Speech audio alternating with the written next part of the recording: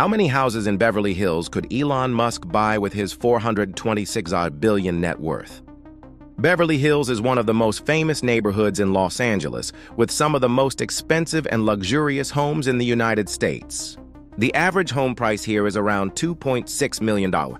So with 426 billion, how many houses in Beverly Hills could Elon Musk buy? Let's do the math. The average home in Beverly Hills costs 2.6 million, and with a net worth of 426 billion dollars, Elon Musk could buy around 163,846 homes. Yes, you heard that right. 163,846 homes.